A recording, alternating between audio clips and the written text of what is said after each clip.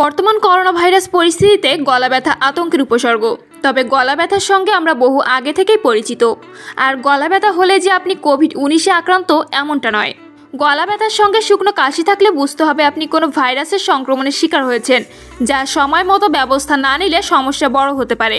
স্বাস্থ্য বিষয়ক একটি ওয়েবসাইটে প্রকাশিত প্রতিবেদনের আলোকে জানানো হলো, গলা ব্যথার ঘরোয়া প্রতিকার সম্পর্কে কিছু পরামর্শ। আদা মধুর পট্টি। মশলা জাতীয় শেকড় হলো আদা, যা সব ঘরেই থাকে এবং গলা ব্যথা সারাতে অত্যন্ত কার্যকর। অপরদিকে মধু হলো গলায় আরামদায়ক অনুভূতি সৃষ্টিকারী প্রধানাশক উপাদান, যা আমাদের রোগ প্রতিরোধ ক্ষমতাকে শক্তিশালী করে। দুটির মিশ্রণ কাজ করে এক্সপেক্টোরান্ট হিসেবে শ্বাসতন্ত্রের লালা নিঃসরণ বাড়ায়। এছাড়াও এটি সাইনাস খুলে দেয়, মিউকাস বা শ্লেষা পরিষ্কার করে এবং গলা থেকে অস্বস্তি সৃষ্টিকারী উপাদান পরিষ্কার করে। এই পট্টি বানানোর জন্য প্রয়োজন হবে আদা, মধু, জলপাইয়ের তেল, আটা বা ময়দা, টিস্যু, গজ ও টেপ। প্রথমেই আটা বা ময়দার সঙ্গে মধু মিশিয়ে নিতে হবে।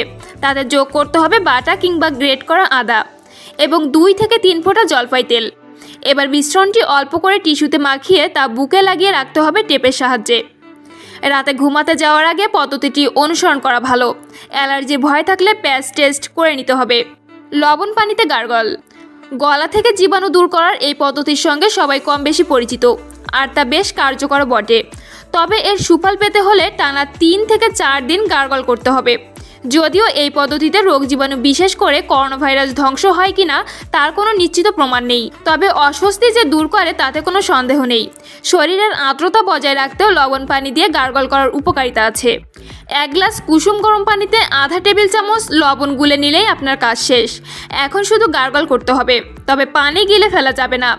দিনে দুই থেকে তিনবার গার্গল করতে হবে। সুফল পেতে ন্যূনতম তিন দিন করে যেতে হবে। যষ্টি মধু।